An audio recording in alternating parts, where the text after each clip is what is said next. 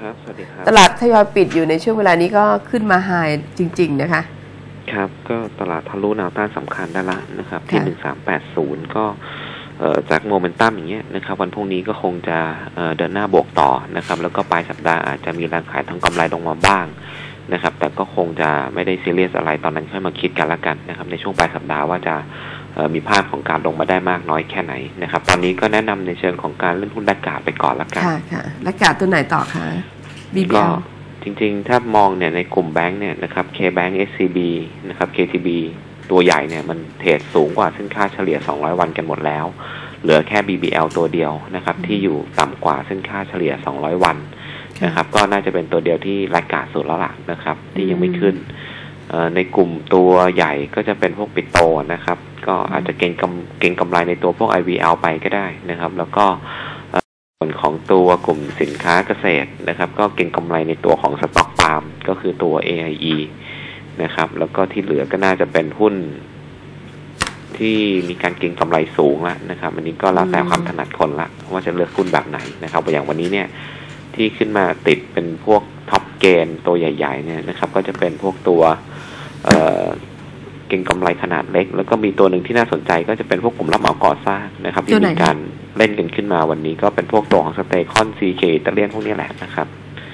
ก็อาจจะเป็นตัวที่มันแลกกาดอะสังเกตดูเห็นได้ชัดอะนะครับ ว่าเป็นหุ้นเล่นที่เมื่อก่อนไม่ค่อยเล่นกัน แล้วก็ขุดมาเล่นครับ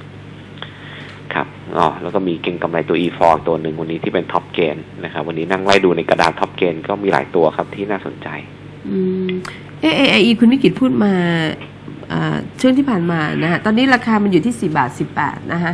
ครับ ราคาของของมันที่มองถ้าจะเล่น trade กับเขามันประมาณยังไงฮะตอนนี้ เล่น trade นะเขาก็คงจะ test high เดิมอะนะครับเท่าไหร่ก็ high เดิมมันอยู่ที่42อ่าสี่จุดสามประมาณเนี้ยครับ อืม4บาทจุดสามสิบประมาณนี้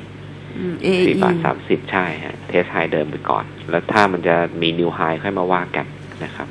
เพราะว่าตัวนี้จองตามจองอยู่นะฮะ ใช่ไหมใช่ครับอืมยังตามจองอยู่ ประเด็นที่เล่นก็เล่นด้วยกำไรของตัวปาล์มอะนะครับค่ะอื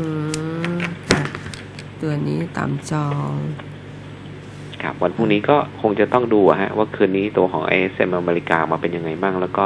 ถ้ายังดีอยู่หุ้นใหญ่พวกนี้ก็คงจะเล่นต่อนะครับ แล้วก็หุ้นใหญ่ที่รายการก็เล่นตัวเดิม BBL นะครับอืม BBL เนาะเออแล้วก็จะเป็นพวกกลุ่มปิโตเก่งกำไรก็ได้นะครับ แล้วก็หุ้นที่ลิงก์กับตัวสินค้าเกษตร ใครถนัดเล่นหุ้นเล็กก็เล่น E4 นะครับ คือคืออะไร E for E4L M เก่าอะฮะอ๋อเดี๋ยวเดี๋ยวนะ E for อันนี้มันมันเหตุผลที่ขึ้นมาเพราะอะไร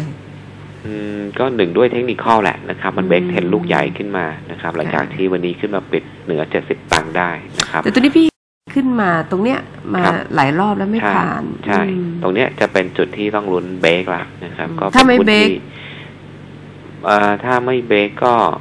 ไม่เบรกก็ยังเล่นได้นะครับ น่าจะมีแนวต้านอยู่แถวประมาณสัก75เจ็ดสิบห้าตังค์เนาะประมาณอื73 74 แล้วก็อืม75ตามลำดับนะครับ เป็นยอดเก่าที่เคยทำเอาไว้ครับอืมก็มองกันในเชิงของตัวเทคนิคนะครับ ประเด็นด้านพื้นฐานก็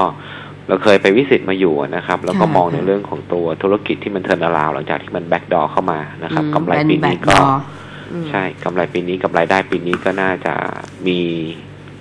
มีกำไรเข้ามาละ turnaround พูดง่ายๆกำไรไตรมาสที่หนึ่งไตรมาสเดียวก็จะเท่ากับปีที่แล้วทั้งปีอืม นะครับ แล้วก็คงจะมีในเรื่องของพวกข่าวเกี่ยวกับการ turnaround ของธุรกิจนะครับค่ะถ้าเรามองกันกำไรในปีนี้ประมาณสักสามร้อยถึงสี่ร้อยล้านบาทเนี่ยนะครับอืมคิดเป็นต่อหุ้นก็ประมาณเอ่อ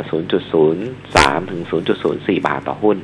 เอ่อถ้าคูณด้วย PE อะนะครับใน sector ที่เป็นบูเลยนะ แบบในส่วนของตัวกลุ่มโรงพยาบาล PE มันอยู่ที่ประมาณเฉลี่ย 27 เท่าอืมเอ่อราคาเป้าหมายมันก็น่าจะอยู่ที่ประมาณเอ่อ88 ตังค์ถึงบาทหนึ่งอืม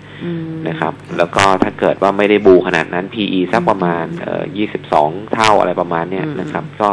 ราคาน่าจะอยู่ประมาณสักเอ่อ70กว่าตังค์ถึง90ตังค์โดยประมาณนะครับ นี่ก็ขึ้นอยู่กับ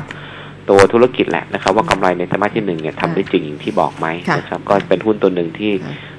backdoor เข้ามาแล้วก็ถือว่าสดทีเดียวนะครับ มองในเชิงของการ turnaround ก็น่าสนใจเหมือนกัน อ่า ได้ได้ค่ะ คุณวิกิจขอบคุณค่ะ ครับ ขอบคุณครับ สวัสดีครับค่ะ